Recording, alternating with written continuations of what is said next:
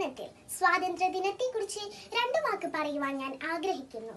ആയിരത്തി തൊള്ളായിരത്തി നാൽപ്പത്തി ഏഴ് ഓഗസ്റ്റ് പതിനഞ്ചിന്റെ പൊൻപുലരിയിൽ ഇന്ത്യൻ ജനത സ്വാതന്ത്ര്യത്തിന്റെ പുളകമണിഞ്ഞ് ഭാരതത്തിൽ അങ്ങോളം ഇങ്ങോളം ത്രിവർണ പതാക പാറി പറന്നു കണ്ണീരും വിയർപ്പും രക്തവും ചീന്തി ബ്രിട്ടീഷ് അടിമത്തത്തിന്റെ ഇരുമ്പു ചങ്ങല പൊട്ടിച്ചെറിഞ്ഞ് ഭാരതത്തിൽ ജനകോടികൾക്ക് സ്വാതന്ത്ര്യം നേടിത്തന്ന പൂർവ പിതാക്കന്മാരുടെ സ്മരണത്തിന് മുന്നിൽ പ്രണാമം അർപ്പിക്കുന്നു.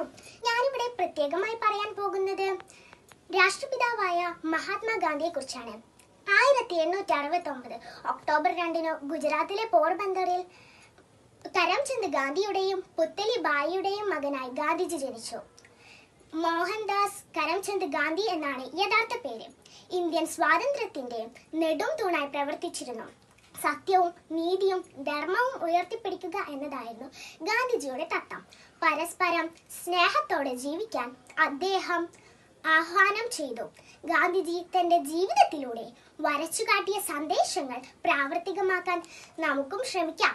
ഭാരത മണ്ണിനു വേണ്ടി ജീവൻ ബലികഴിച്ച വീര നേതാക്കളുടെ മാതൃഭൂമിയോടുള്ള സ്നേഹത്തിന്റെ വിലയാണ് നമ്മുടെ സ്വാതന്ത്ര്യം.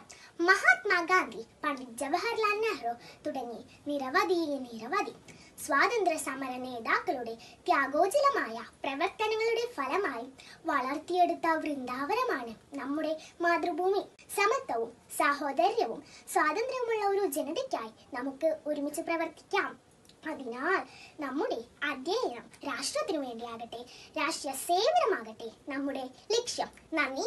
നമസ്കാരം. ജയ് ഹിന്ദ്.